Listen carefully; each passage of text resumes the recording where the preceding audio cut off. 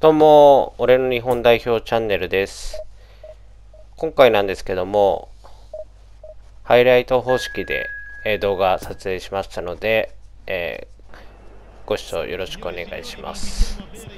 で、今回からあの南野拓実選手、代表復帰しましたので、ただ、コンディションがまあ、今回不調ってことで出ないんですけども、この後あの活躍しますので、えーご期待ください。っ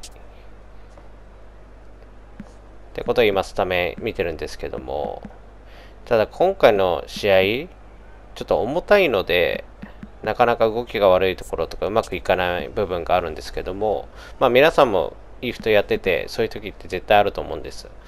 まあその時対対策だとか、あのーそういうのを見ていただけるといいと思います。で、あのー対策、まあこれ、対策なんですけども、まあ一番大事なのは、イライラしないっていうところですね。やっぱイライラすると勝てないので、どうしても。まあその辺、メンタル面をね、一番気にしてもらえるといいと思います。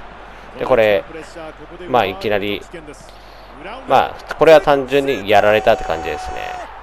やられました。で、次のシーン、まあゴール前、しっかりボール奪ってカウンターにつなげてるシーンですね。うまくボランチ経由して、サイド、外。で、中。あー、つながないですね。あ、で、フラッシュ決めると。まあ大事ですよね。前線でボールを奪うっていうところで。いかに攻撃は相手のゴールの近くまでやるかどうか。これ、これおか、動き気持ち悪いっすよね。もう全然動かなかったっすね、これ。残念あね重たい時ってこういうのあるんですよ、本当に。なんなんこの動きみたいな。飛び出したこれは裏抜けてサイドから。で、最後フラッシュ決める。やっぱエースですよね。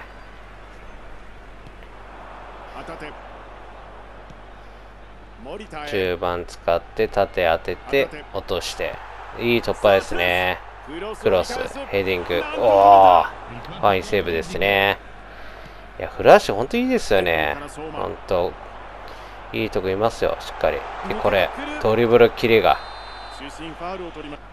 まあ、これ後半なんですけど、ここから、やっぱりつ、うちの、まあ、古橋に次ぐエース。まあ、上田がエースって言ってもおかしくないですよね、時間的に。後半からちょっと出て、必ず点決めて帰ってくるという男で。相馬からのキレのいいドリブル、そしてセットプレー。上田綺世いい。マジでいい。ほんと強いわ。セカンドボール拾いたいほんと強い。あ、これ、これ浅野なんすよ、ヘッド。ヘディング。弱い。浅野弱いよ。そこゴリっていかないと。裏抜けた。いや、上田綺世。ポスト。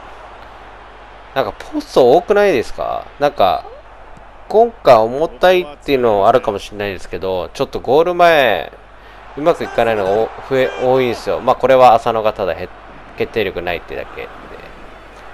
結構多いんですよ。入り、入りきらなかったところ。あ、これも、これ、普段の回戦だとシュート打ててたと思うんですよね。打てなかったってところでそうですねサイドまたえぐって浅野、しっかり外していく。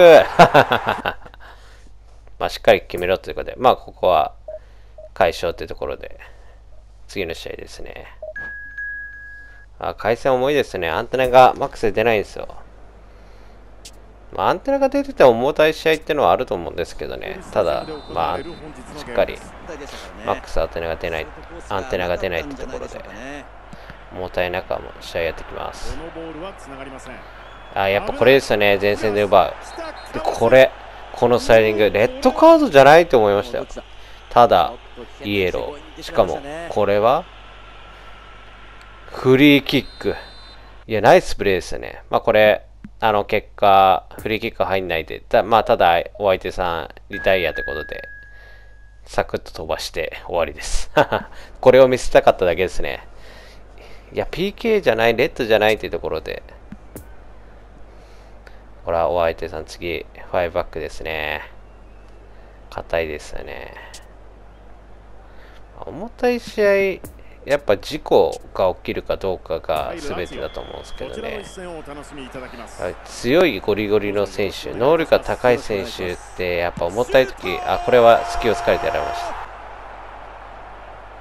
ゴリゴリな選手ってきついっすよね。あ、これはあれあるですね。サイドに行って中にスルーパス。AI が反応しない。古足のあの決定力でさっきのあんだけ枠がいっちゃうんだっていうところですよね。で、朝のいいドリブル。で、惜しい。クロスが惜しい。で、これ事故りそう。やっぱこういうの起きますよね。回線重いと。で、また裏抜け。強い。強い。ああ、外していく。これは、あの、自分の操作ミスですね。普通にニアサイドぶち抜けばよかったです。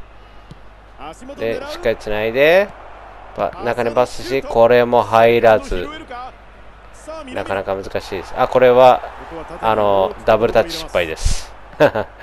決まったらダブルタッチからの根下で、で、入る、もしくは、こぼれとかいけそうですね。で、これも、朝の届かずっていうところで、まあ、身長が足んないのか、回線が悪いのか分かんないですけど、ただこれは、あの、負けました。天気ミライズ1-0で。まあ、とちょっとだったんですけどね。なかなか大事な試合で決められないところで。どんどんサクサクしていきます。このパス。キーパー。なんだその動きって。まあ、その前のパス、パスワークはすごいうまかうまかったんで、崩されたって感じなんですけど。相馬からの逆サイド。三笘。ただ、その後のアイデアがない。ボール浮いてたんで、ダブルタッチ発動しないだろう、重たいしって思って、ただまあ、普通にシュートになっちゃいましたね。で、ナイスワンタッチ。で、キーパーナイスセーブ。決めきれずってところで。そして、カウンターをやられてく、つられる、ニアサイド開けてしまう。これも多分ダッシュの速度に、キーパーの AI のポジショニング、回線重いんで動かなかったんですよ。だからニアサイド開いたんで、ぶち抜かれるっていうところで、で、これもヘディングで、もうボコボコですよね。あのー、回線重い時のの前線強い選手いると、こういう臭い動きの時にごちゃごちゃってなって、反応悪いっすよね。まあ負けましたってところで、まあ、気持ち悪い動きですよね。まあ仕方なく。まあこういう時もあるよってところで。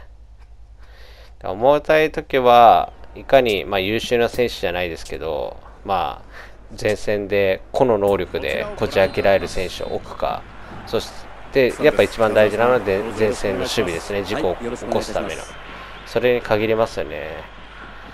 これ、サイド、裏手ため作ってからの逆サイドフラスルー。これ、また朝の動き、あんま良くなくないですか、朝の。個人的に思うんですよ、ああいうの多い。なんでですかね、浅野選手。で真ん中空いてく。で、外していく。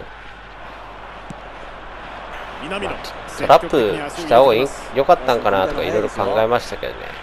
サイドつられてるところを裏抜け。いいですね。そして、南野。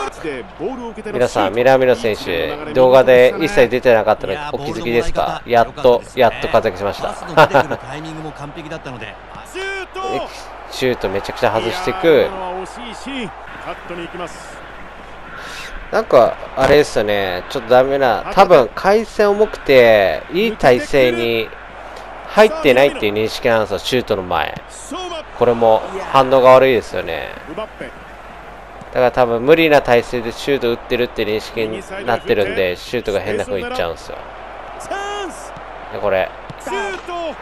ナイス。で、これは解消っていうところで。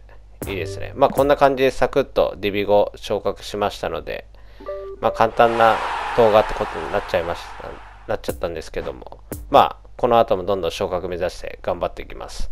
ありがとうございました。